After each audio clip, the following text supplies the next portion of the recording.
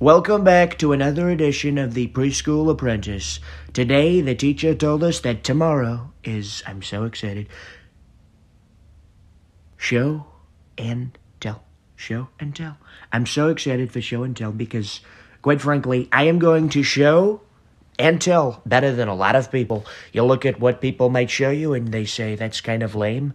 I think Sleepy Joe said he's bringing in a teddy bear. Who brings in a teddy bear? That's so lame. Loser. Jeb Bush said he's bringing in some kind of some kind of something, but it's going to be terrible because it's Jeb Bush, let's be honest. But I will show you and I will tell you probably better than anybody's ever done it before. You look at the greats who have done show and tell, you look at the moms and the dads and the people all over that have done show and tell, and nobody has shown you something and nobody has told you something better than I'll do it.